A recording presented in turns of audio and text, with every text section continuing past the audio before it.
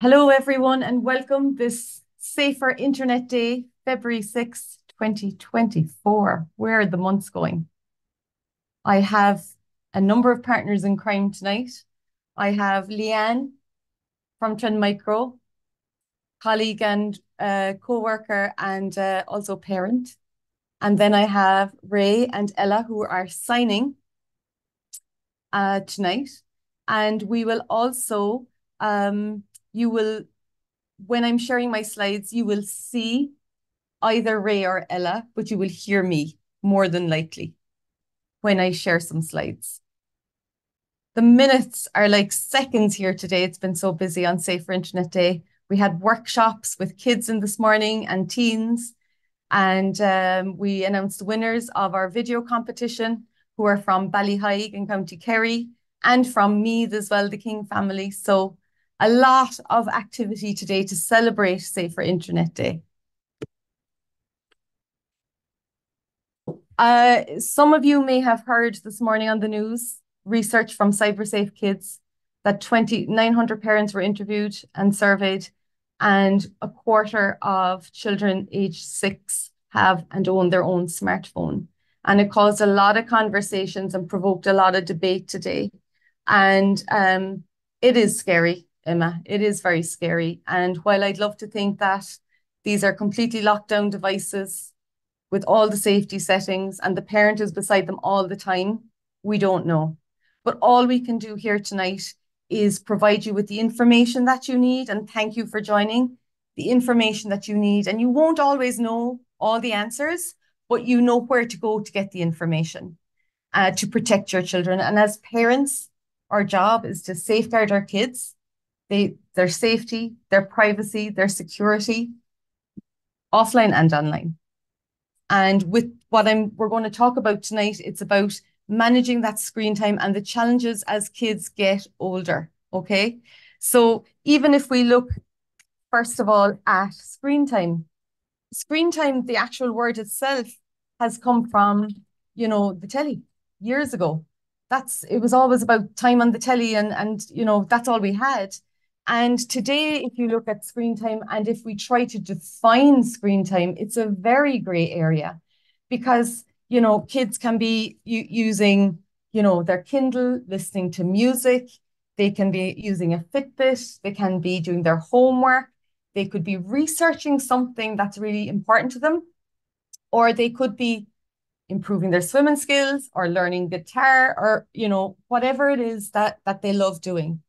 And then you've got social, gaming, coding, creating websites. There's so much good stuff out there. But obviously, with the good stuff, there is also what we need to be conscious of the risks with the internet and everything online. And it's about striking that balance and being aware of that as well. But the screen time is a very gray area, and we need to focus on quality time online as opposed to how much time is my child supposed to be online every day? Because it's like if you get the answer, you will then be able to give the rule to your child. And it's just not that straightforward anymore. So um, let's start with that. Screen time. We don't want it to be like the forbidden fruit where they're begging for five more minutes every 15 minutes. You know, we want it to be a healthy part of their daily diet, depending on their age. And um, that's something that we need to be conscious of. So that's screen time, defining screen time. I did a talk several years ago with a consultant child and adolescent psychiatrist, Dr. Michelle Mulcahy, and we co-presented on internet safety. And she spoke the entire time that she had to present on sleep. And it has resonated with me ever since because she talked about the importance of sleep and the impact of lack of sleep. And, you know, we all know the basics. You know, if you don't sleep, your child, if your child doesn't sleep properly and get enough hours sleep, they're going to be moody in the morning. They're going to have poor diet, craving sugar. If they're anxious or worried at any point during the day, their anxiety is heightened because of their lack of sleep. You know, so all of that combined with concentration won't be better, won't be okay, because that'll be impacted as well by lack of sleep. So having young people on devices late at night, for example, is something that we need to be conscious of. And the best way to do this is to have that conversation with kids always and from a young age. Okay. So I just wanted to mention what Dr. Mulcahy said sleep, sleep, sleep, sleep, sleep is what she talked about. And I did the internet safety piece. And I think there, you know, it's very, very important to be aware of that. And then, you know, we also need to look at ourselves. What is my relationship with my device like? You know, am I on it morning to night? Am I rarely on it? When do I use it? For how long? Because your children are watching you and they will emulate what they see. And then we need to look at our parenting style. You know, some parents will not allow their children and are not happy for that to happen, that they don't get a device till they're a specific age. It could be 8, 12, 13, tablet or mobile device, or it could be, you know, younger age. Are you the parent that's always on this gaming with your kids? You're on the whatever apps they're on, you're on it with them. Are you kind of growing up with the apps together? Or are you not so involved in technology? And it's to be conscious of that as well. Because if you think about that 25% of children at the age of six own their own smartphone, you know, this is something that we need to be conscious of. Are we aware of what's in those devices for those kids? What we're giving to them? Our own parenting style, our own information and knowledge about the technology we're handing over. It's up to us as parents to make sure we're aware and we know that in order to protect our kids. And that's what tonight's all about. And anything I talk about, we will share links during the chat for you. And then afterwards, any resources I talk about, they will be shared out to you in email afterwards as well. So you don't feel like you have to be remembering things. Okay. It'll all be shared out afterwards and this is being recorded. Okay. Um, so practical ways to support your child. There is no magic technical solution to support and manage your child's screen time. And, you know, whether your child is not 18 months or between two and six or six to nine or a teen, a tween or a teen, they're developing themselves as children. And, you know, by the time they get to their teenage years, they're very, very conscious of themselves, their own, they're aware of themselves and other people and how they're perceived. And they're very self conscious and they're rebelling, they're expressing. And, you know, though all the different ages that you have, there's different developmental milestones for those children. And with that, the screen time and devices in general need to be almost built to complement them as best you know how, as best you know your child, you know? So, um, practical ways to support your child is what we're going to talk about. And, you know, some really, I guess that when you finish this webinar tonight, that you will have the confidence and feel more empowered, like all of the webinars that we do here at Trend Micro, that you feel empowered and know where to go when you need help because we don't always know all of the answers. Okay. All right. So uh, I'm going to start sharing my slides now.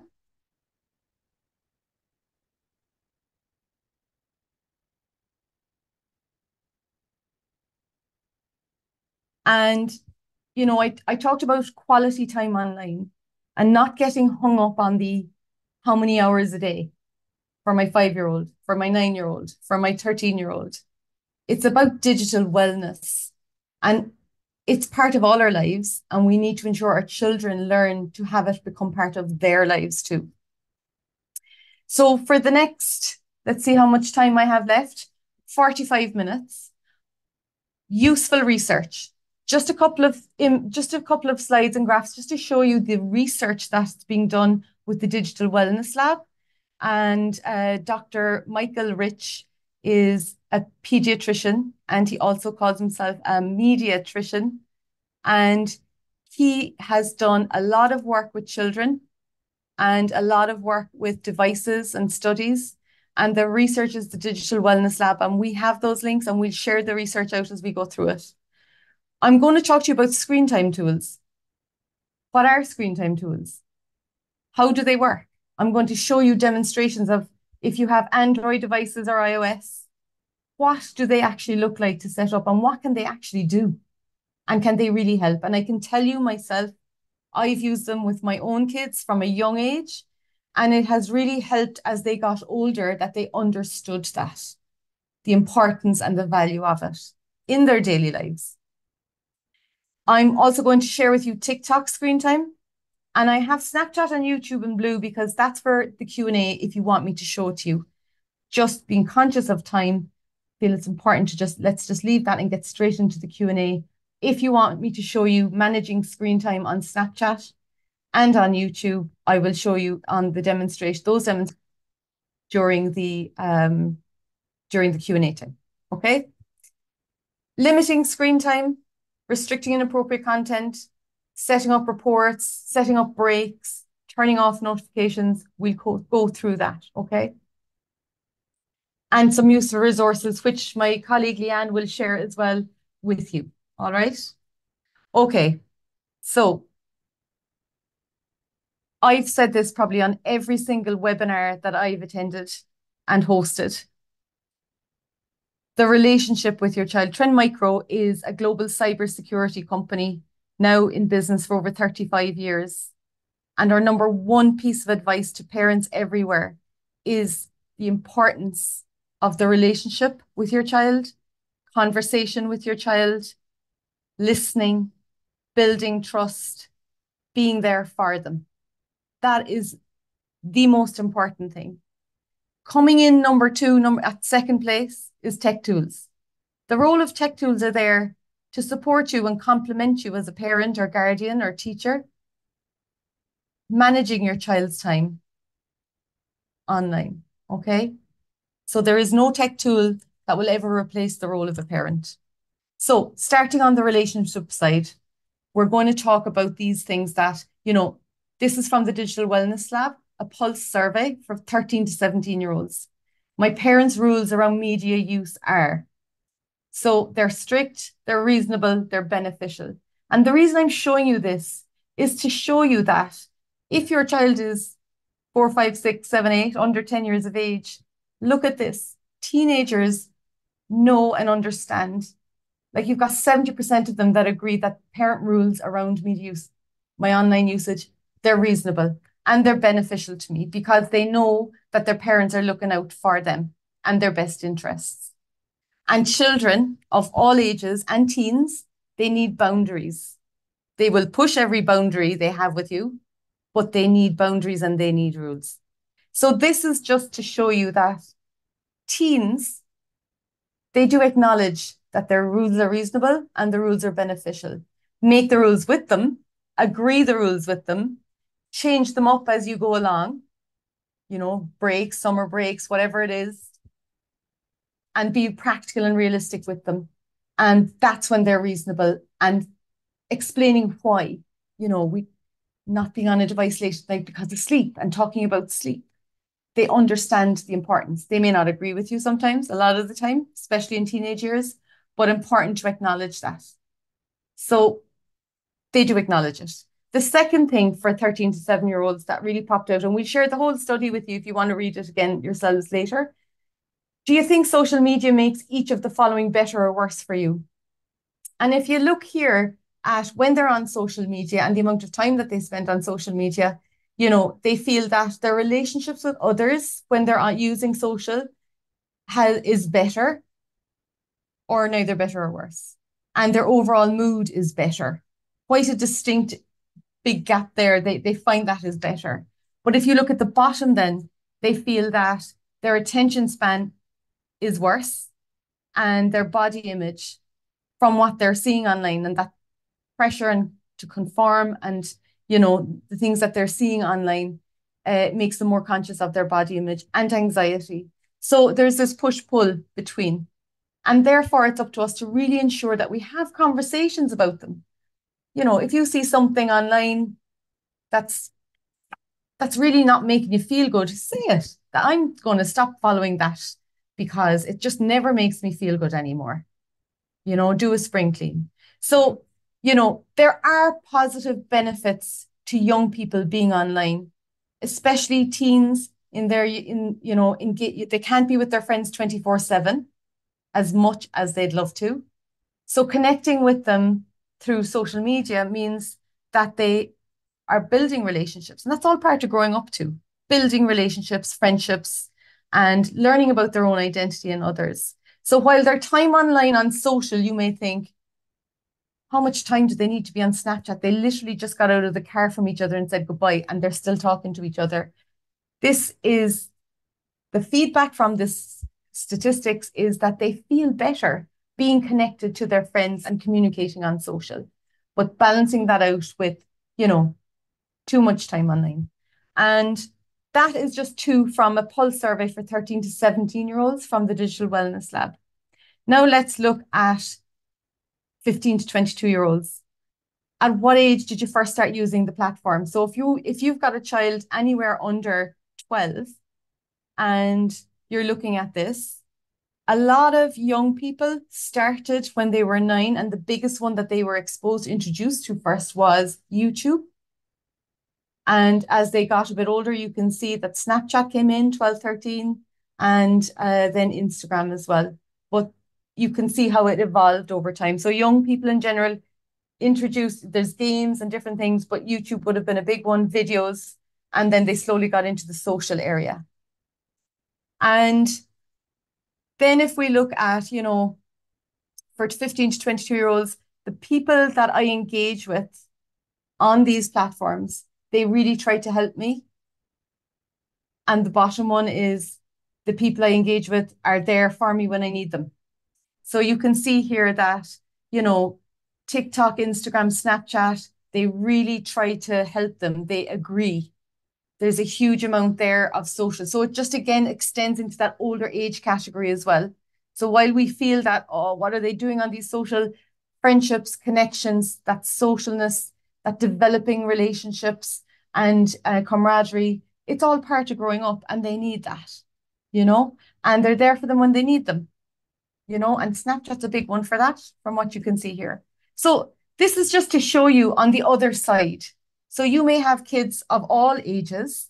You may have kids just under 10, 12. But looking at this, it should give you a good insight into young people's worlds and their, their friends are their worlds. And this is why it's important. And for us then, remember, they do find rules reasonable and beneficial to them. And we have to make those rules. You're not going to agree with a five-year-old the rules, but as they get older, you have to reasonably agree rules with them and they're more likely then to abide by them. Okay. So there are the statistics. That's over. Let's talk about setting the rules. If you have a young person just starting out with devices, it could be a family device, it could be something you're going to give them on a, whatever you decide what device. You need to decide what device. Is it the family one? Is it your own one you just give to them when you're with them? And you slowly one-to-one show them. When are they allowed to use it? A lot of kids have to use devices in school and bring a device to school. But, you know, are they allowed to have it during the week? So, you know, do they do it, you know, when it's homework time, when they have a lot of activities after school as well, then it's important that you make those agreement with them. Okay, so when you come home, you have to have your dinner, you have to do your homework, and then you've got sports class, music class, or whatever. Um, and if there's time left over, then you know you can have time for that. So it's about agreeing, setting the rules together as to when. Weekends are easier. Weeknights can be hectic. How long? So if you look at the American Association of Pediatrics, they would say that, and we have some research there as well from the Digital Wellness Lab about, you know, any uh, under 18 months of age, you should be with them. It, it should be just with family and communication. That's it two to five, they say one to two hours a day, no more. And it needs to be high quality content and being with them again. Again, family time, social time, um, and watching movies together, things like that. And then from six on, it gets even grayer. And I know from working with teens and having teens myself who have been through the childhood phase, you know, anywhere between four and eight hours a day would be normal. They do a lot of school stuff, they do a lot of different activities online, and they can spend a lot of time. Now, during the weekdays, that is significantly lower, but at weekends, it's quite high and with their friends as well. Where? So, where do they? So, if you have a child that's anywhere under the age of 12, you know, you need to agree a rules as part of the rules. Okay, so not in your bedroom. Absolutely not. You have to be somewhere where I can see you, where I can hear what's going on, and keep an eye because no matter how many safety settings are locked down on a device, there's always a risk. Nothing is 100% safe. There's always a risk of something happening, of inappropriate content, of, you know, maybe the up, uh, an update didn't happen to an app and then suddenly there's content in there that your child's exposed to. So keeping an eye on them. So from a young age, starting them off, these are the rules. And you will do these yourself with them if they're very young. But as they get older, it's about talking to them about those rules. And with whom? So if your friend is an or your friend, if your child is a gamer and they love gaming with their cousins and their neighbors and their friends, you know, friends are great to to play with, but you're only allowed to play with your friends and they get their usernames, they share each other's usernames, and that's how they connect through games, whether it's Xbox or Roblox or whatever. And I did a Roblox webinar uh, in, last year in, I think it was uh, November, and the recording is there and go through the settings on that as well. It's on that web page as well, the events page. So with whom, you know, you not talking to strangers, talking to them about why you can't talk to strangers, the, the dangers that are there. And if anyone contacts you, you need to tell me straight away because my job is to keep you safe. I want you to have fun, but I want you to be safe. So that relationship again, okay? So you've agreed the rules with them and they evolve as they get older, you know, especially during midterm breaks, holiday breaks, or if they're going away for a weekend, you can slightly increase them. And I will show you those screen times and how you can do it. It's worked really well for me. This is something from the Digital Wellness Lab. And for kids at a young age, what we really want to do is start teaching them slowly from a young age how to regulate their own time, being aware of their own time. There's 24 hours in a day. So getting a piece of paper and sitting down and, you know, there's 24 hours and, you know, okay, so there's this much time for sleep. This is the amount of time we need for sleep. And this is why sleep is good. And then exercise and meals and put all the time. So fill it in like a circle, like a pie chart and fill in all of that.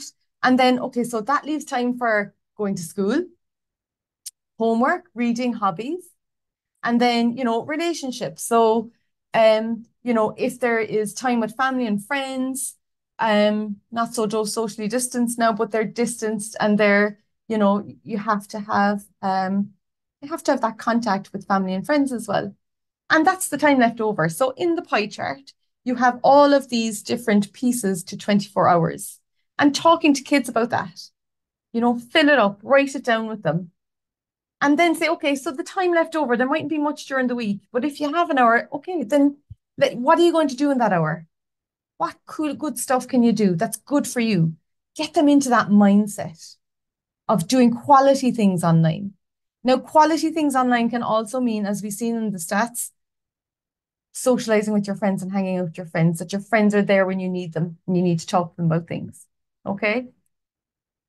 So this is something that the Digital Wellness Lab came up with to help children from a young age really start helping them understand about the role of technology in your life. And they're young. It's going to take time, but we have to start somewhere. So this is the Cyber Academy. We had 35 primary school kids in this morning and getting the Cyber Academy. They're now champions. And we had 20 transition years in, being trained on how to deliver the Cyber Academy. Any primary school teacher can deliver this to their kids. It's all online at that website. And they only take 20 minutes. This episode is Time Online, and it's about talking to kids about time online. And there's an activity sheet here, and there's a fun video, and there's a Kahoot quiz. And it doesn't take long, but it opens up the conversation about being online, what you do online, quality, and all of that. You know, what you enjoy doing online and what do you not enjoy about being online and being aware of it. This is just a piece of the video, and this is the conversation guide. So there's questions and answers in there to help you with that, with your child. So if you're at home and you could play the video, it's only two, three minutes, and then you can have have a chat with them, ask them a few questions, you know, and the answers are there. Just get that conversation going with young people. And then there's a fun quiz, you know, and there's you could print off the activity sheet and get them to color it in and do it with them as well. And all of it is just re rehashing, just reinforcing the learning there about the importance of time online and how I spend it versus the rest of my day. It has a place. It doesn't take up the whole time because I have other things to do. When it comes to older children, one of the great things that you could do is we'll share those links out with you about the the research and the pulse surveys. Wouldn't it be great to just sit down and ask your young persons those questions? You know, do you find rules bad, reasonable, beneficial? You know, go through them. The conversation it opens up every step of the way and sharing with them what other young people think. You know, it's a fantastic resource. So I would recommend, you know, as they get older, whether it's something you hear on the news or whether it's a research piece or just go through some questions with them, but just having the conversation with them and listening to them. You know, and if they want more time on something, why do you want more time online? Talk to me about it. Because from what I can see, it's just you could be doing something better with your time. What are you doing? So learning about why they want it and what's benefit to them. And then they understand you're listening to them, you're acknowledging them, you're trying to understand and you're trying to be practical with them. So agreeing rules with older kids as they're getting older and making those rules more flexible. And it's based on trust, trusting your young person and building that trust with them. And they'll appreciate that too. So the relationship listening. Sorry, just come in there. We're just doing interpreter swap there, if that's okay. No problem. I'll, I'll stop there. Sorry, Ray. Thanks, Ella. Okay, so on the relationship side, just to summarize, the trust, the number one thing is the relationship with your child. Trust, listening, active listening, not overreacting, you know, open conversations with them, really, really important. Seize moments as opportunities. If something great happened, if something not so great happened, just using that to get in there with them and have that conversation. And the more you talk to them about it and be with them online, the more they're going to tell you because you understand, you know? Confiscating devices is uh, something we need to be very careful of because, you know, if you take a device away from a young person, what they may hear is, well, I'm never telling them anything again because they'll just take my device away from me. And that's not what you want. You want them always to come to you. If you both agree, because something's happened online and you've talked it out, let's just, will we agree to just take a break from it for a week or two or a few days or whatever and agree together? That is a better approach to this, you know? Um, you it's when the talking stops when the problems really start. So that's what we want to avoid. So just that relationship getting in there. And sometimes you're going to hear things you don't want to hear, but aren't you better hearing them? You know, and listening to them and being there for them. So agreeing rules together, putting some structure on it, and listening to each other, what your concerns are, what your what their concerns are, and what their needs are. Focusing on quality. Don't get hung up on the number of hours a day that your child is on. Remember, watching the news, listening to music, Kindle, Fitbit, the list is endless. Homework. You know, there's so many things that young people are online doing that they require the internet, just like all of us. So focus on quality when they're online. and encourage quality with them. Positive uses and what they care about, whatever it is that they care about, then, you know, that's a great way to get to understand your child even more or your team. Engaging with them. If if you decide to give them Snapchat, because the minimum age for Snapchat is 13, if you decide to give your child Snapchat, get on Snapchat yourself. I communicate with my daughter on Snapchat all the time.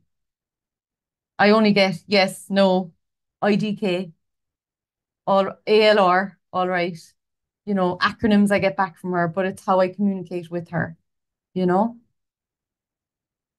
Keep them busy. So instead of, will you get off that device? Instead of saying things like that, to say, well, let's turn something else on. You know they love whatever, whatever it is they love offline. Go do that with them. Bring them away in the car. Go get a hot chocolate. Go go walk the dog. Go visit their cousin. You know, and I know that's easier said than done during a week when you're very, very busy, but it's not about turn that off. It's about turning something else on that's offline. And helping them to learn to manage time so that when we're not around, that they know themselves and they're more conscious of it. They're going to get to 18. They're going to grow up into young adults. They're going to have their device and they're going to have to manage it themselves. So our job from here until then is to train their brains, to teach them right from wrong, just like crossing the road, about device time, about quality time online, about appropriate versus inappropriate things you see, about friends versus strangers and all of that thing, conversations all the time. So helping them to learn to manage their time. So we talked earlier at the very start of this webinar about you, your parenting style, and the relationship you have with your device. You may feel after this that actually I'm not happy with, I'm always on my phone at mealtime, or I, I tend to have my phone when we're watching a family movie, or, you know, whatever it is, be conscious of it. Have a look, be mindful of your own relationship with your device you know, and maybe together it's an opportunity to start rules now with everyone, you know, and make those rules that you're part of those rules too. So discuss the quality time, um, spending time together, device-free meal times. I can't recommend this enough. So, you know, um, when there's no device at the table, it provokes conversation. And it could be, how was your day? Get what's happening in everyone's day. And sometimes even having a meal time in the week can be hard with everyone going left, right, and center doing different activities. But it's about conversation. And it could be something in the news, or you could bring up 25, one in four kids age six own their own smartphone. Imagine having that as a conversation. What do you think of that? You know, what do you think they're doing on it? Do you think they get into trouble or, you know, open up the conversation with them? Screen free days. This one could be tough at the start. And CyberSafe Kids do some wonderful um, uh, events, especially in November. Uh, they have a, a turning off day where they're encouraging everyone just to switch off their device. But a screen free day, it could be one day a week or one day a month where everyone just leaves the devices and just spends time together.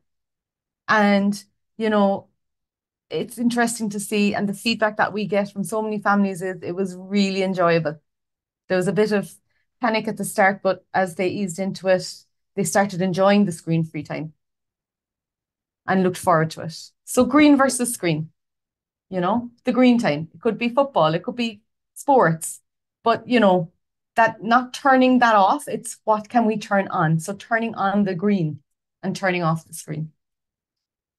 Um, one thing that we would also encourage is, you know, and one of the statistics that we heard this morning was that a large percentage of 10 year olds, um, I think it was, what was it? Looking at my notes here. I remember now. Is it 40% of 10 year olds are allowed to have their phones and their devices in their bedrooms? And this is something that we really, I can't encourage enough for you to have that conversation with kids that they are not allowed in their rooms you don't know what's happening, you don't know who they're talking to, you don't know what's going on, and for how long they're on it. Now, that can be changed with screen time, which I will show you shortly, but no devices in the bedroom and encouraging them and making it a rule that no devices an hour before bed. And a question that I get asked is, what about the Kindle? Well, you know, if a, if a Kindle helps relax your child and get them into sleep mode, that's great. If if a book or a Kindle wires them up and wakes them up and they're reading the book until four in the morning, then no. Because the purpose of taking switching off a device an hour before bed is to get that melatonin secreting, to get the tiredness, the yawning, and it's time for bed. My body needs sleep. And that's the purpose of this. You know, so depending on what reading does to your young person will dictate whether they're allowed to have it or not before bed. Um, and the device in the bedroom. And explain to them why their mental health, their their well-being, you know, and uh as they get older, they will want it in their room, and then it's a different conversation with them. Okay. So something that I put in here um, that was uh, in the digital wellness lab as well. A young person's digital wellness is influenced by many factors beyond their screen time.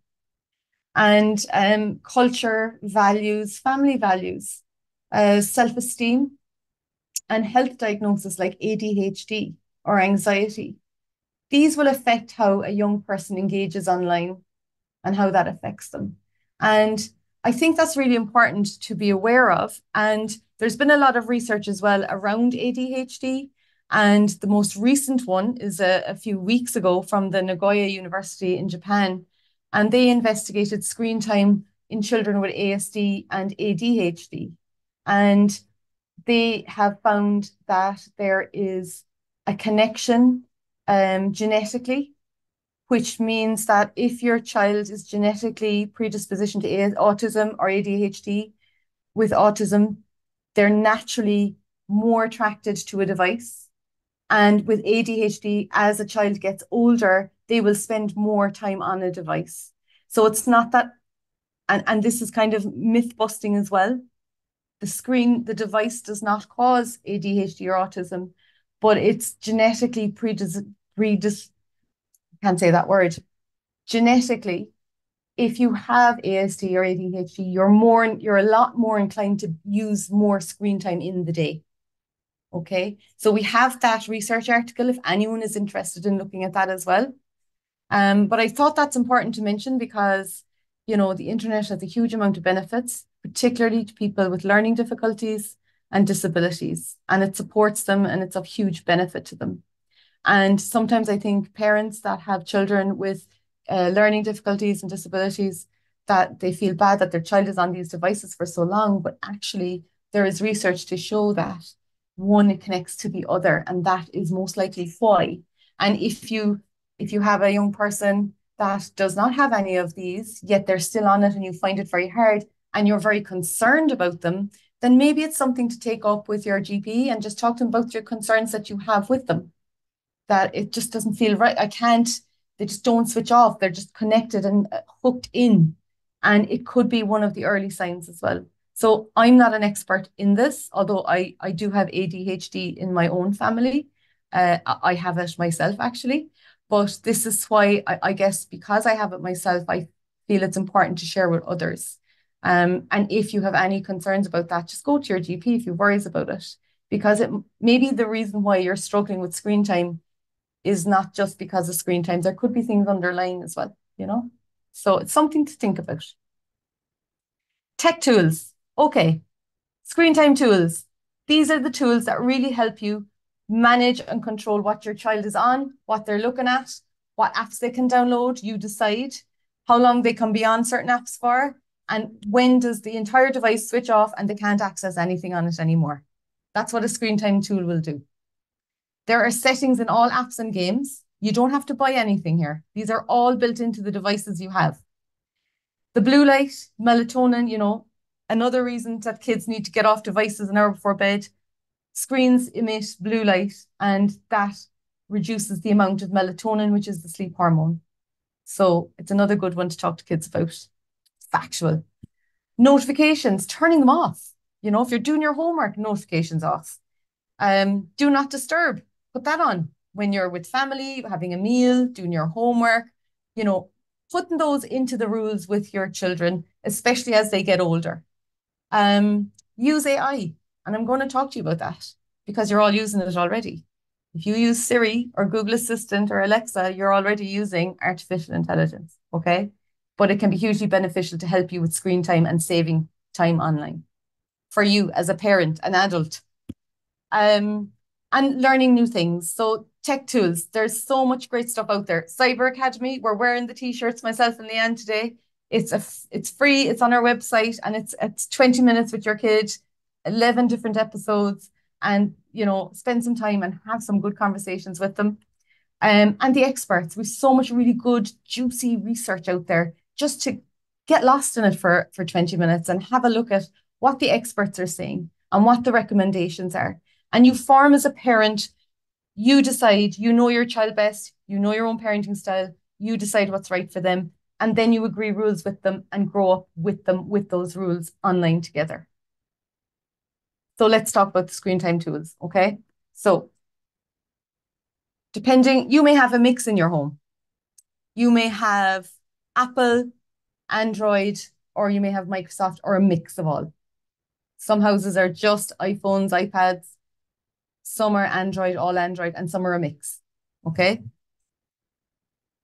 All devices, all devices have screen time tools in them. You just have to find them. And you can download screen time apps from the App Store. They're built into your router in your home, depending on how fancy your router is now. It depends on the router and where you live in the country and what type of Wi Fi you have. But routers will have and can give you screen time tools. And if you have security software, then within the security software, that has screen time tools as well that you can access. You just need to find them. So go to your router, see what it is. You may have to log on and set up an account and take it from there and see what services they can offer. Now, they may charge, so be careful of that. And you don't have to pay for anything because I'm going to show you iOS and Android specifically of how you can set up screen time. But they are also in mobile devices, gaming, and social networks. Okay. So it's really, really important to be aware of that. Screen time tools are in these settings, and you can set them up to manage the amount of time that your child is online in these apps, in those games, on those devices. Okay? And you can download them from the App Store. It sounds like an ad for something. Okay. So let's start looking at iOS and Android and Microsoft. Okay. So the screen time tools. If we take family sharing. So I have an iPhone. I actually need to, I had to put it on um, airplane mode because if I say here, he, hey Siri, it'll go off. Um, with, oh, Siri is still active. Okay. Power off. I'll have to power off my phone. On your own, if you have an iPhone or an iPad, if you go to the settings in this, you will see screen time. You can set up screen time for yourself. I get kicked out of Instagram if I'm longer than 15 minutes on it because I have a habit of scrolling. So it actually helps manage your own time online from that mindless scrolling. So Android is called Family Link. It's an app you download, whether you have iOS or Android. And I'll go into that a little bit more and explain it a bit better. But if your child, for example, has an Android device and you have an iPhone, you can download the Family Link to your iPhone and you can manage the screen time from your iPhone to their Android device. Okay.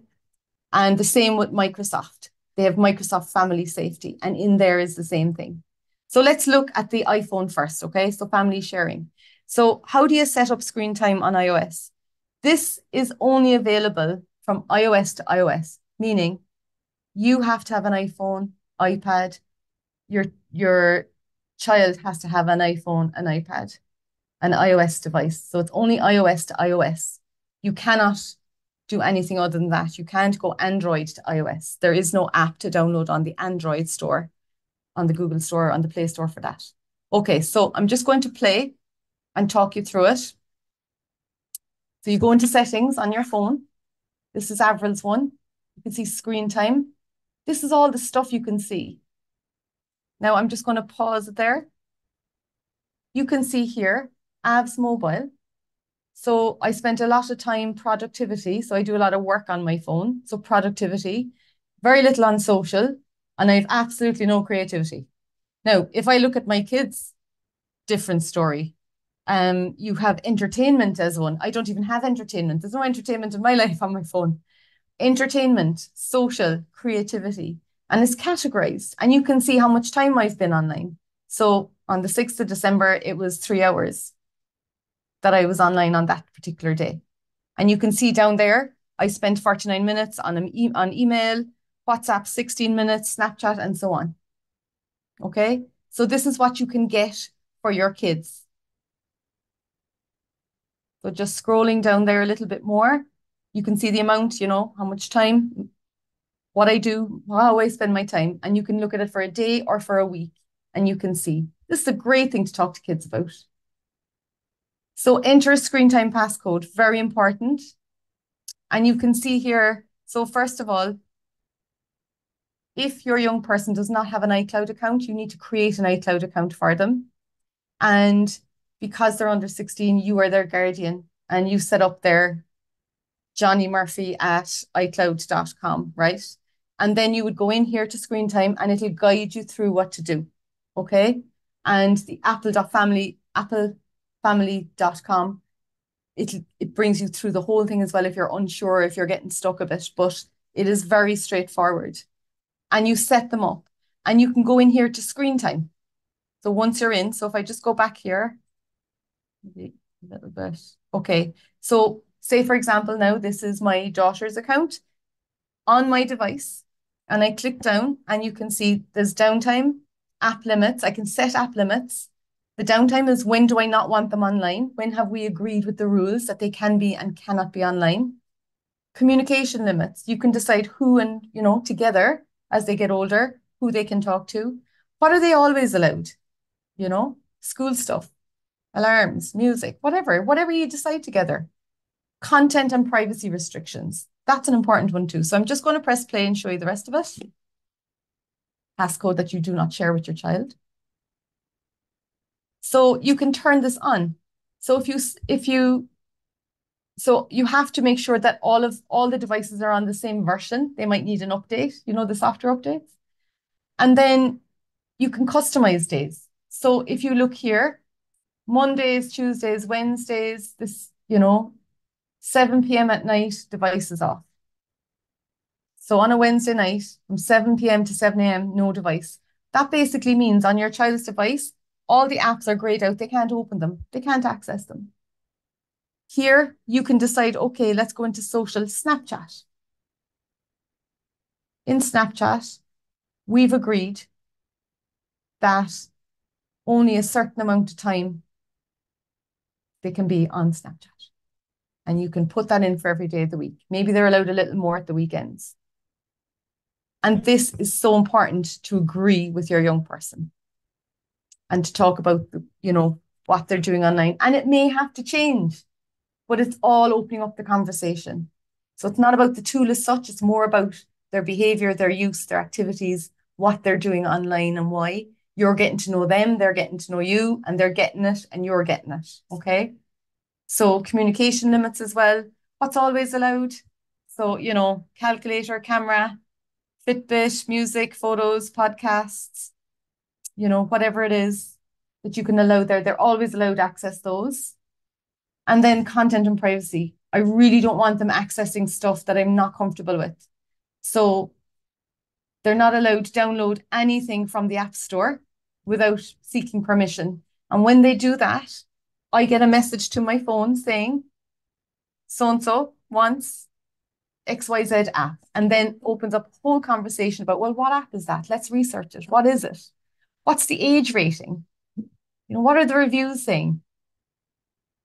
So these are just showing you all the different things that you can put in here. So limit adult websites. You can never allow certain websites. If you've agreed that this is a completely off, you know, totally disagree with it, you have major problems with that website and the the content that it has and the, the value and culture, whatever the reasons are. But it's about talking to them about it, explaining it, and agreeing with them.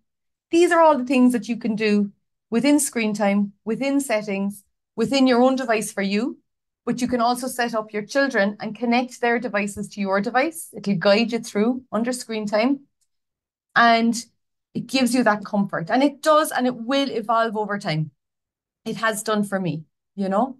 So that is iOS family sharing.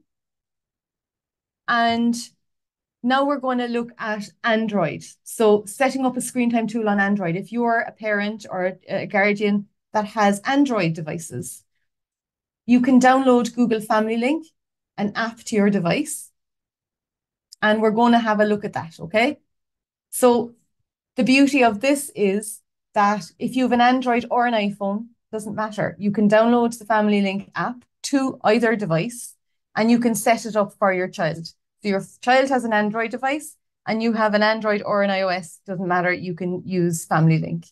And this is what it looks like. There's the app there. And I'm just going to give you, does the exact same thing as the iOS one. So continue as Avril. Okay, so I want to add a device. You click add a device and then you go, it tells you what to do. Get your child's Android device, open settings, and you go through it step by step. Content restrictions. So here are all the things that you can restrict content on. You know, require approval for all content, app games, you know. You can decide. What are the, the PEGI is the age rating. So what is the, the European gaming age restriction that you want to put? For movies, for games, for YouTube, you can put YouTube restricted mode. Now, please bear in mind as well that try to block explicit sites. You see the word try, Google search. These are specific to the device of your child. It's not 100% safe on this one with Google. They can just not use the app and they can go somewhere else. They can find it somewhere else. It's always about the conversation. Your child's location, turning it on. You can do that for Snapchat too. So these are really useful things to have privacy settings. So it's all in there. Just keep going through it. You just have to do the time. Whatever app your child needs and wants, have the conversation with them, do the research on it, check the age rating of the app, check the reviews, what other parents are saying, check with other parents. Decide together whether it's a yes or a no. And if it is a yes, download it yourself as well and go straight into settings and set it up with them doing all of this stuff because you're training them as well as learning yourself. Okay. So that is Family Link. Now, the last one is TikTok, and I'm just checking the time, which I don't, second. So we have three minutes left. Managing screen time on TikTok is something that, you know, you can do. I'm just going to press play. I think a lot of parents aren't aware of this.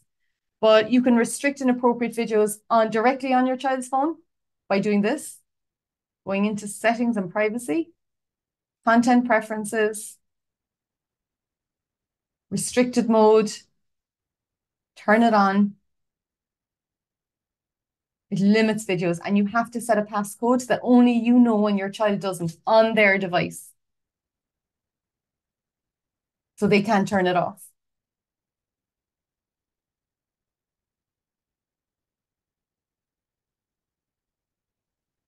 Other thing that you can do under settings and privacy is set up screen time. Well, first of all, there's reports. Okay. So under the reports, you can see daily screen times. So, okay, I want daily screen time to be 40, 60, whatever minutes that you agree with your young person. And you set that with a code and agree it. And I'm sure there'll be a lot of conversations about this because they want to extend it. But again, that's more conversation with them. Keep the conversation going. Be honest with them. You can get reports. You can set up breaks. Hey, you've been on it now for 20, 30 minutes. It's time for a break. You get that pop up on your app when you're on it. You know, you can get screen time updates every week. Hey, did you know this week you've been on TikTok for so much time? And it's a good conversation to have with them, you know? being aware and being conscious of the time you're online and what you did online. Now, this is something different. So before I just The one thing with this is, so what I've just showed you is going into your child's device, straight into TikTok, going to settings and setting up with a pin the restrictions for screen time. This is where you pair their TikTok account with yours. You have to have a TikTok account on your device and they have a TikTok account on theirs. And it's called pairing, okay? So you go to settings and privacy and you can see here family pairing it's called. And it's the same thing as we've just done, except now your device is connected to theirs. Who can send messages to your teen and it guides you. So family pairing, I'm the parent. Okay, so you need to scan the code links to the account and it gives you step by steps. And then your child goes into their device and goes, I'm the teen. And then they say, okay, go to your parent's device and scan the code. And then they're connected. And then you can set up all of these things. Are they public, private? You know, their privacy safety settings. Limit who can send messages to your teens. Do it together. So these are really good things that you can do with your young person. You're learning yourself and they're learning with you. And these rules will evolve as they get older. Okay. So that is TikTok. And, you know, these screen time tools, what do they do? They help you with age appropriate content. You can turn off in-app purchases. They can't order or buy anything, managing time, and a lot more, you know? And you can have the monitoring, but using the monitoring to talk to them about it, especially if you're worried about them. So it's available on all of these things that we just mentioned earlier. They're everywhere. They just look a bit different, but they do it. And they're in Snapchat as well, and they're in Instagram, and they're on Xbox, and there's some fantastic, there's a fantastic Xbox safety app that you can download to your phone to do the exact same thing. Your child will actually message you through Xbox and say, hey, can I have 20 more minutes, please? I'm on a Fortnite game, whatever it is. So the final thing, and then we're done, right? This is something for you, right? Do you ever get, oh, I need to go to my phone to do something and suddenly it's a half an hour later? Does that happen to anyone else? Okay. So using AI for the benefit of your digital wellness. Okay. Hey Siri. Hey Alexa. Hey Google Assist. Create a shopping list. Add milk to the shopping list for me. You have a shopping list in your phone. And when you get to Aldi or wherever your shopping list, hey Siri, open my shopping list and all of the things that you told us. So you're not going into your device because it's a distraction the minute you go in. It pulls you in. Open WhatsApp. Hey Siri, open WhatsApp. Hey Siri, create send a message to so and so on WhatsApp. Hey Siri, any new emails? Hey Siri, send an email. Call someone. Hey Siri, call. You know, multiply. It does a calculation for you. Hey Siri, multiply this. Google this for me. Google that. Wake me up in two hours. Set the alarm for me. Hey Siri, set, set a timer for, for two minutes for me. Set an alarm, schedule an appointment, doctor's appointment into my calendar right now for this time. Hey Siri, remind me to. So there's so many things that you can do by using artificial intelligence already in your device that can actually stop you from going to your device and getting lost in there for 20 minutes. So that's something that's valuable to you. And you can also share with your children. As they get older, they'll use it too and it just stops them being lured in and pulled in. So you're managing your device as opposed to your device managing you. And half of the teens I work with are using screen time tools themselves. They turn off notifications. They put on do not disturb. They get that report. They restrict their own access for homework, for downtime. And it's about them learning to manage it for themselves because it's a thing for life okay? It reduces distractions. This um, literacy skills, I mean, audio to text is fantastic if you're not great at the old spelling. Executive functioning, functioning support, you know, planning, organizing, time management. It's great to use this to help you organize and manage your day because they're crazy. Day, our days are crazy. They're getting faster since COVID, I think. So that's it. Um, I've gone I've turned off my phone so I can't see the time. I've four minutes over. This is just some of the episodes that we have at the Cyber Academy. 20 minutes, whether you're a teacher, a parent at home, spend some time on them. We'll send you out the link. And oh, very fancy note my slides, apologies. And these are some of the really interesting webinars that we've done in the past. One of the ones that I'd really recommend you watch is tips for setting um, screen time rules. It's with Dr. Michael Rich, the pediatrician from Boston University Hospital in Boston. Said that twice, Boston. Excellent webinar. I've probably listened to it about 15 times. It's fantastic. If you're going for a walk, plug in the ear set and listen to it. It is fantastic. But there's lots of different ones here where we speak with the experts, we learn from the experts, and we curate all of what we learn and share it with our parents and educators on these webinars for you to help you have that information that you need in your home to help safeguard your children. And it starts with us. We have to put in the time. It's not something we can outsource. I know parents that have tried it, it's backfired. Blog articles. Look at these. What to do when your teen seems to prefer spending time online than with their family and real world friends. There's some great articles. So we're going to send you that blog, those blog links. You know, it's time to move your young child away from a screen. What do you do? So it just shows you, gives you great tips on how to manage it. We'll have different challenges every day of the week when it comes to screen time. So that's the last slide here. When you hang up on me, if you decide not to stay for the Q&A, you will be directed to a feedback form, which is asking you for your feedback. If you would like to be in a draw for um, a one year maximum security, which is basically antivirus software, um, to protect your device up to three, up to five devices, just put your email address into the comment box on the feedback form. Once we um, do the raffle, we delete all of the information, your contact details. We do not contact you. If you would like to stay in touch with us, then on our events page, you can see the registration form, subscribe, and you will get invites from us. Okay, so that's the events page, micro.com, internet safety, Eventsy. And in there will be our webinar recordings, and in there will be our um, subscribe, you know, subscribe button if you'd like to be notified of our next webinars. Okay. So at this point, I just want to say thank you so much. I've just closed off the, the slides. Thank you so much for joining.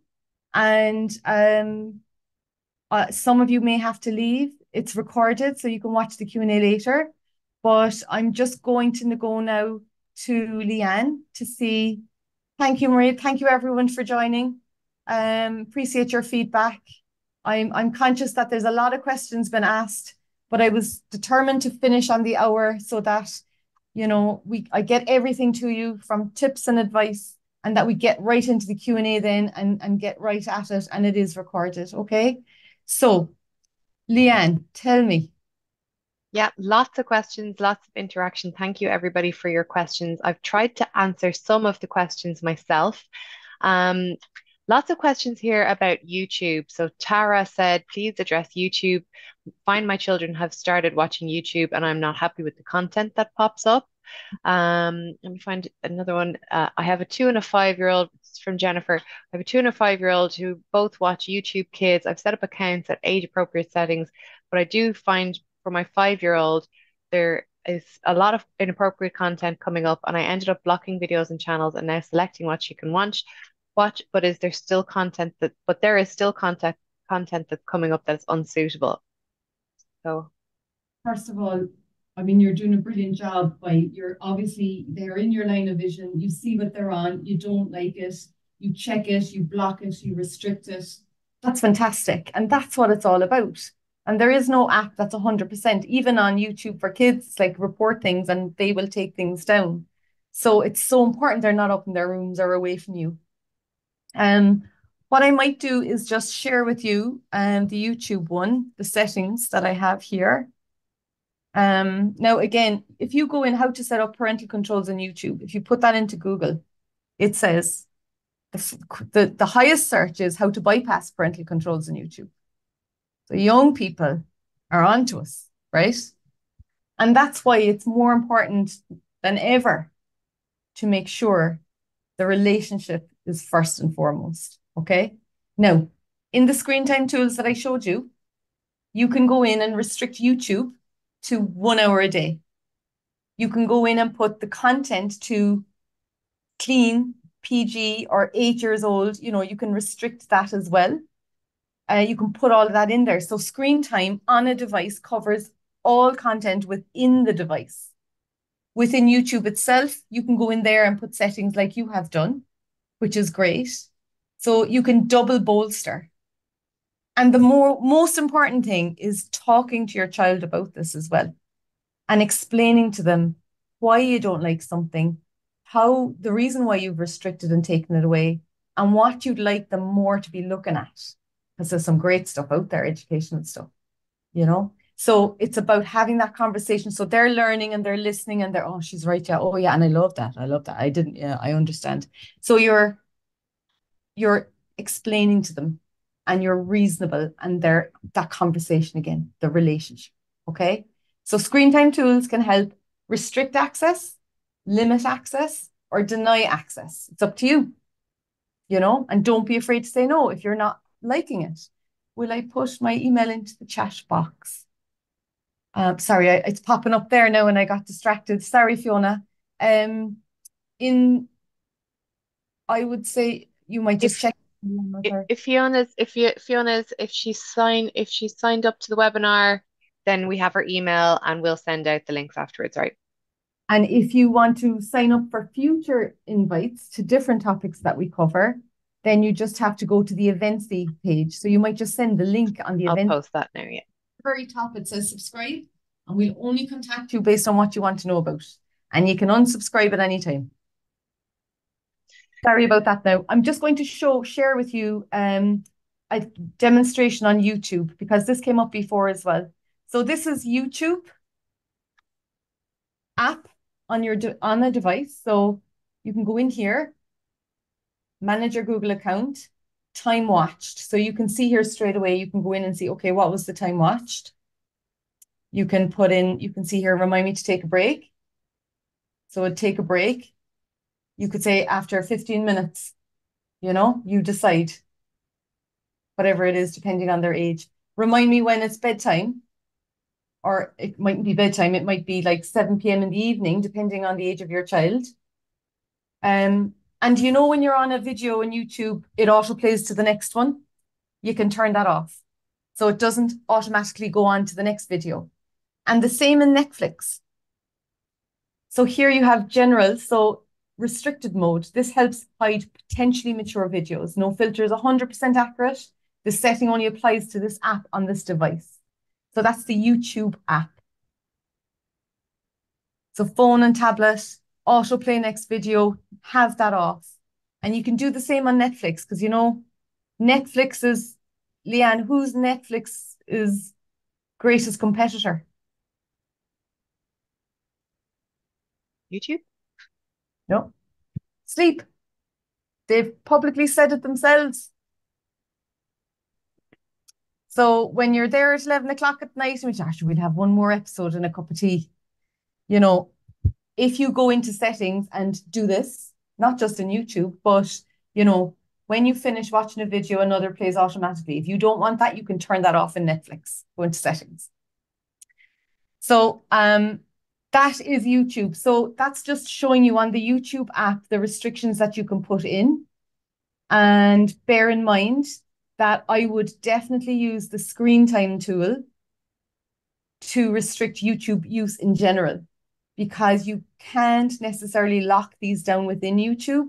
You can put it on restrict mode, but kids can get around that. But the screen time tool, if they have an Android device and then you have Family Link, doesn't matter what device you have, and you can go in there and say, okay, for YouTube, only an hour, um, you know, restrict the amount of time, you know, or maybe you don't want them on it at all for a while, or you, you agree with them that they're going to be off it for a while, or whatever it is, but screen time tool on the device setting itself, not the app. And it literally blocks out YouTube. And you can turn off Safari and you can turn off the search engine so they can't go in that way. You know, everything gets shut down. It sounds cruel, but it's important to remember the relationship and the conversation. I'll just stop sharing that. I hope that was of use, that YouTube tutorial. I think it was. I think um, Sarah was very happy with the answer there. Um, some some other uh, mostly upvoted questions, Avril. Um, Claire asked, "How much is too much?" Um, Mina asked, "Is there a research for the appropriate screen time a day for each age group?" So people looking to find out how much screen time to allocate. So I know I mentioned, uh, and it's a good question. I know I mentioned the American Association of Pediatrics, and you know, two to five years of age, no more than one to two hours, absolutely no more. Um, they recommend, and and it being more family communication time. You know, like WhatsApp calls or whatever whatever you use to call people, but doing family things together with them on the device. Uh, that can be a challenge for some parents. Kids just want to play all the time. Um, but it's about having those rules and sticking to them. Um, then you look at six upwards. Um, and we can send out the uh, so the pediatrics recommendations for those. Um, however, I would say to you, remember screen time is a gray area. Remember you know, kids are using it for a lot of things. We cannot get hung up on the amount of hours they should be on. If you're asking the question, how do we know when it's too much time? Your gut instincts would tell you a lot. Your child's behavior would tell you a lot. If you feel they're not engaging with family anymore, if they're being really erratic and, and cranky and having outbursts, um, if their mood is off, they're anxious, their sleep mightn't be great, you know. Um, you know your own child and you know when something's wrong. And as parents, we're like the FBI when we need to. And I think this is play this is time when if you feel when when is too much time, if you feel you're not comfortable with how much time they're spending online, this is where you need to take it to the next level and sit down with them and talk to them about it. And no device around. And not straight after a huge argument either. It has to be very relaxed, calm. We need to talk to you. I want to talk to you. You know, or if you have a partner that can sit with you and talk to your child. We are really concerned, and it is not the device that is our problem because it's not the device it's the behavior of your child online and the amount of time they're spending on it and their behavior then offline towards it could be just family, you know? So, what are your worries, your concerns, what you're observing? You're, you're screaming, you're, you're getting extremely, you know, irritated, frustrated. You know, we're really worried about you. This is not the usual you ever since whatever you know, whatever your gut instincts as a parent is telling you, just to tell them what you see and how worried you are. And it's not the device, it's them you care about. And you you're not confiscating the device, but you want to just look at the rules again. And then ask them what's going on. This is an open conversation. We want you to always feel like you can talk to us no matter what's going on, no matter what. We want you to be able to talk to us. Um, and where are they at? Where are they at in their heads? You know, that it'll come out and you may have to probe, but acknowledging them, listening to them, not overreacting, overreact later with another grown up. But with them, thank them. Whenever they tell you something that's you can tell it's something big they're telling you, from their perspective, thank them for it because that's what we need. It's when the conversation stops and the talking stops, that's when we're in trouble. We don't know what's going on then. So get in there with them and then say, look, the sleep, you know, this is, we're just, you know, so what are we going to do about this? What are we going to do? And let them come up with suggestions, you know, and keep checking in then and have those couch, sit down at a table. This is serious. We love you. We will do whatever we need. This is what we're seeing. This is not healthy. This is not right. And we are concerned. And, you know, don't make it about the device. Don't make it about the hours. Make it about them and what's going on here. They're developing emotionally, socially. It's so much teenagers, hormones, like it's the minefield. So, you know, just open up that relationship with them and that trust and that listening and help them figure it out. You'd probably hear more than you want.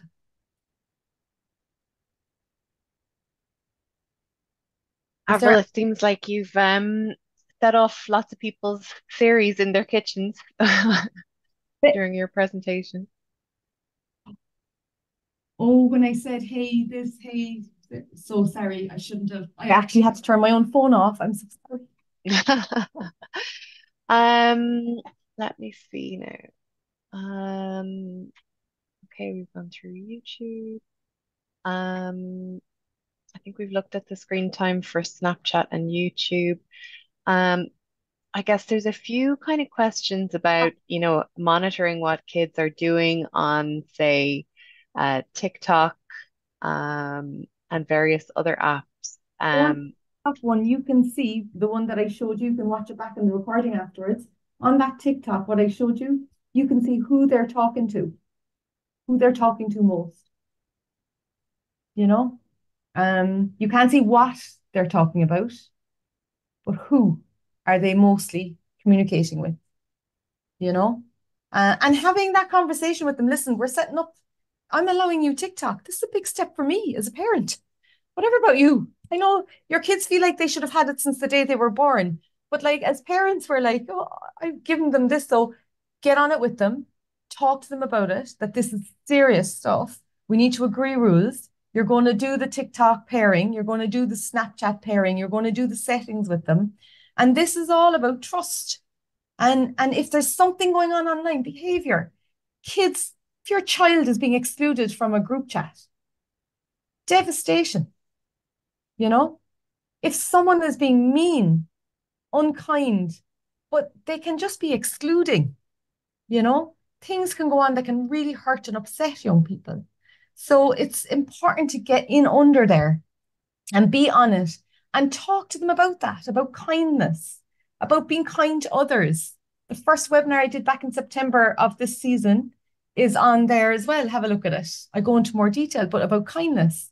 It's so important to talk to them about kindness. And we all remember when someone did something kind for us, you know, and being kind to others is so important. So if you see someone being mean online or having getting a hard time, be kind to them, do something nice for them, you know. And if someone's being really hurtful and unkind to you, then it's time to talk. And oh, I can talk to my parents because they're really they sit me down enough, I'm going to sit them down now and talk to them.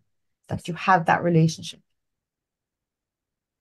Um, I have the Snapchat tutorial, just a, a quick demo on Snapchat if you wanted me to show you the screen time on Snapchat. Was there a lot of questions on Snapchat? There was definitely a question there about screen time on Snapchat. Okay. So this is the minimum age for TikTok, Snapchat, most of them. Um, this is just a very short demo on Snapchat. So Here we go. The cog of the wheel at the top, and then you scroll down. And you go to here, Family Center. Welcome to Family Center. View your teen's friends, see who they've messaged in the last seven days, and report abuse. You can't see the content of what they're saying, but who they're talking to. Now in here, learn more in the Quick Start Guide for Parents. This is fantastic guide. It's in Snapchat, the family center, you know? And they give really great advice for parents and for users. Again, into settings, notifications, turn them all off.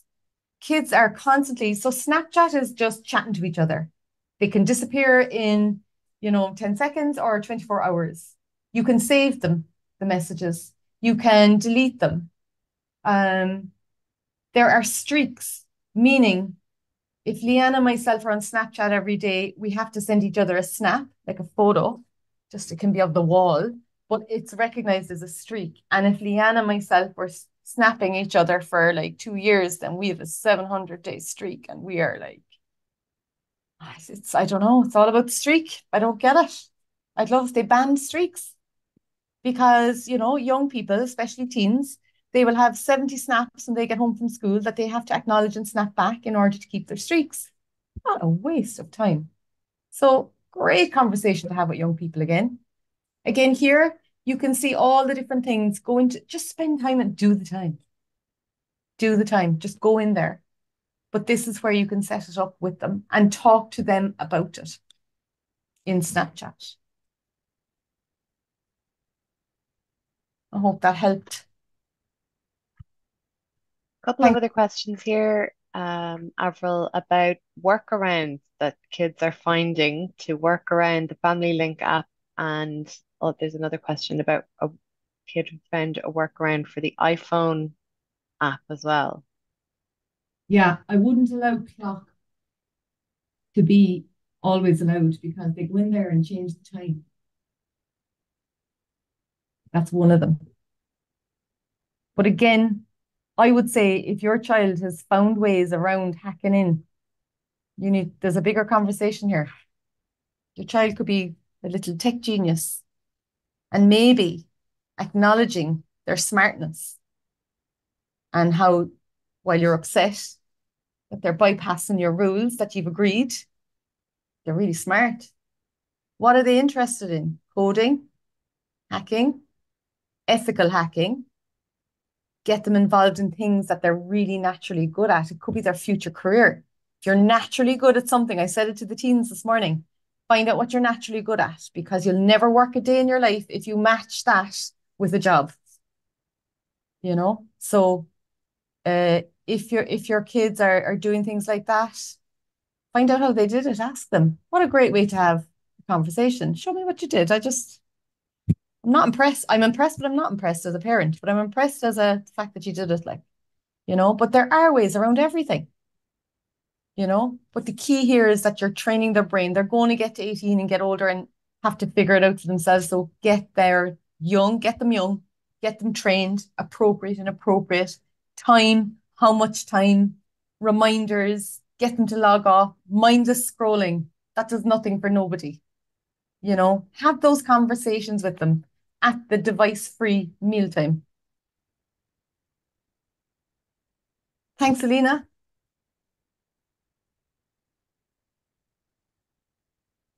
Um, okay, question here about gaming, and it's very hard to ask a 15 year old to get off, and then a 13 year old boy asking for Grand Theft Auto as all his friends are playing it, and a good few comments on being the last parents to allow certain access. There was a Fortnite question as well. Anything around that, Avril? Okay, so I would say, first of all, check in with the, your child's parents, your child's friends' parents because first of all, I'm not I'm not saying they're liars, but you know, they all have it and I have it. I'm the last not to have it. You know, if you check in with your child's friends' parents, maybe they don't. But if they do, then talk to them about, well, how long are they on it? What do they do? Like, do you have settings down? I'm worried about it. Like, who are they talking to? How are you? And learn from them about what they're doing with their child. You might be pleasantly surprised, or you might be just, oh, you know? So it's about this is a great way to get other parents involved. The children that play with yours agree rules together as parents, you know? Um, you can have they can set up on Fortnite. They they meet at eight o'clock on a Thursday night, the whole class, and they play Fortnite together and they love it. And it's their time, eight to nine on a certain night of the week. Like there's some great ways, and gaming is a social media network as well it's where young people like to hang out, you know? And we can't forget that. And remember what I showed you at the start. They feel really supported by their friends. They build relationships online, whether it's Snapchat, Roblox, Fortnite. Now, Grand Theft Auto. If your child is on Grand wants Grand Theft Auto and they're 13, so I would there's a number of things you could do, right? But the sitting them down, one, talking to the parents first of his friends to to validate if they really are on it and find out more because there are a lot of restrictions and settings that you can put on that But Grand Theft Auto is 18 for a reason. There is some horrendous scenes in it. So talk to the parents, and then I would sit your child, your young person down and talk to them about all the concerns you have about it. You can list them out. Common Sense Media. We did a gaming uh, webinar before Christmas. It's all up there, the, re the recording on our uh, events page, events.ie. And, you know, it gives a lot of information about Grand Theft Auto, Roblox and Fortnite and all of those. But, you know, you have to start somewhere. Definitely not Grand Theft Auto. Minecraft is brilliant. That's on the school curriculum in the Nordics. Roblox is great. Settings again, remember. Agreeing rules together, agreeing times. And then I would say with your child, with the Grand Theft Auto, sitting them down, listing out all the worries that you have and why you worry about them, because you're their parent. That's your job. And remember, they know it's reasonable and they know these rules are beneficial to look after them.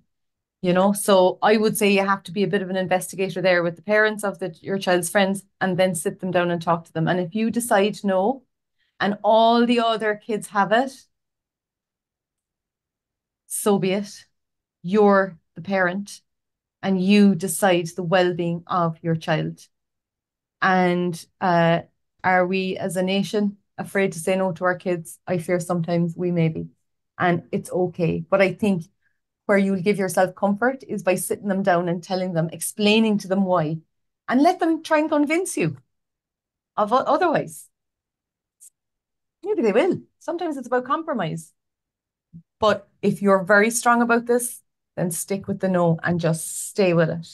It's okay as a parent to say no. Thanks, Estelle.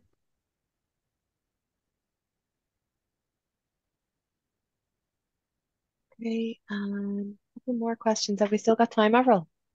Um, I'm just conscious of poor Ella and and Ray. I, I don't know if are you exhausted um, and yourself, Leah? Are you would we would we do one more question? Okay. Pick a see one now, Leah. um so we've talked about competing with other households, parents, uh you know, the kids uh, talking to the other kids' parents. Um, what about something positive? There's a question here about a recommended websites online that are educational. Um, and there's another question.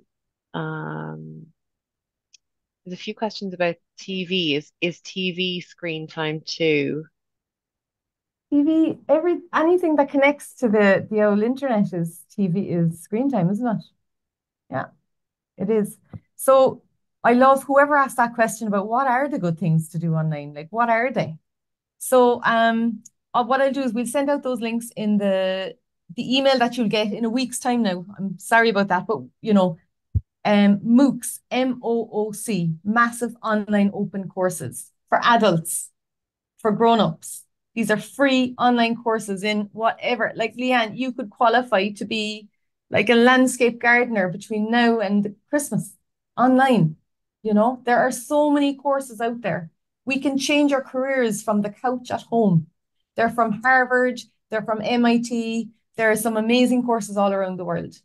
Okay, the Khan Academy, K H A N, Khan Academy. Some of you may be familiar with this for school, for subjects. You know, if your kids are struggling with maths, then you just put in the exact problem, the exact age of the child, and you know, you'll get really simplified visuals of how to explain it and little videos. But Khan Academy has also got some cool content in there for young people. And you know, I know we say YouTube is a is a is a place where you have your question marks and concerns, but like learning how to set up sign, Irish Sign Language on a Zoom webinar with the new feature. I went into YouTube to figure that one out with our training guys here. And uh, let's just say Zoom ain't ready yet for sign language. They're getting there, they're making progress, but it ain't there yet. So I used YouTube to learn about something. So if your young person is learning how to code and they want to learn about a new language, YouTube can teach them how to code, you know, um, how to make a movie. So what's your story? Micro.ie. We run a video competition. Does your young person like making videos? We launch again, not now, we announced the winners today, but we've 6,000 euros in cash prizes to give away. Get them involved in making a video when we announce it and launch it again. You know? Uh, so that's what's your story, trendmicro.ie.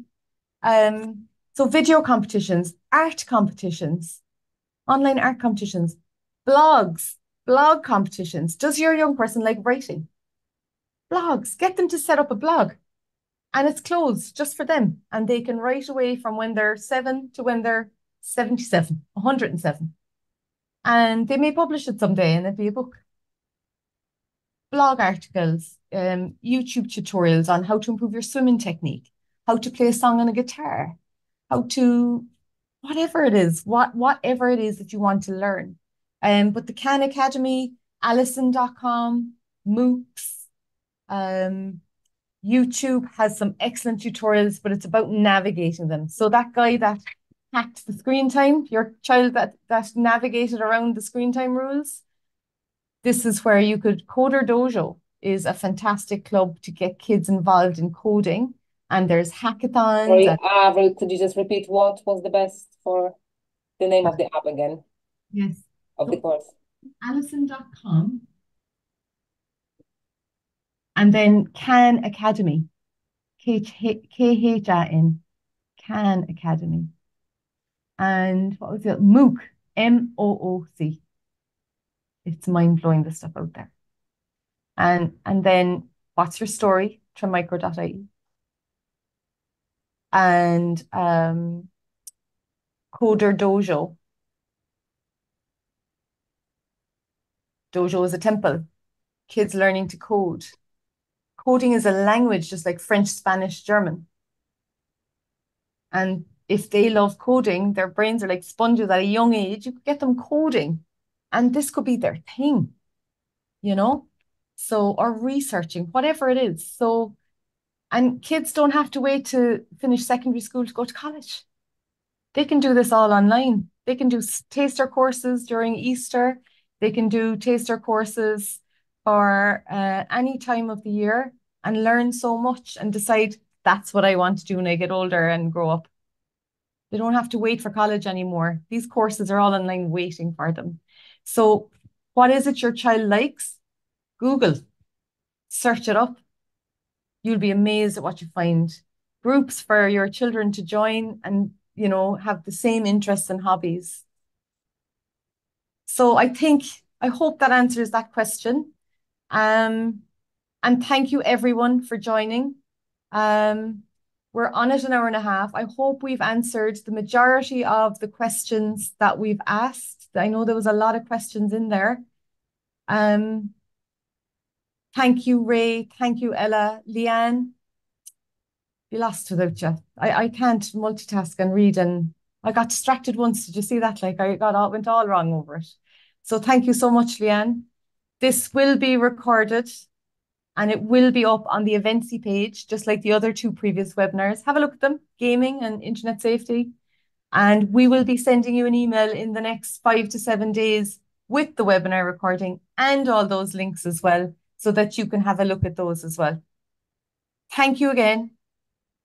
I know it's Safer Internet Day, but it can't be just be for one day of the year. It has to keep the conversation going every other day of the year with people in your community. Share the recording with family and friends. Just get it out there. We need to look after each other. So thank you. Take care. And we'll see you again soon. Thank you. Thank you. Cheers.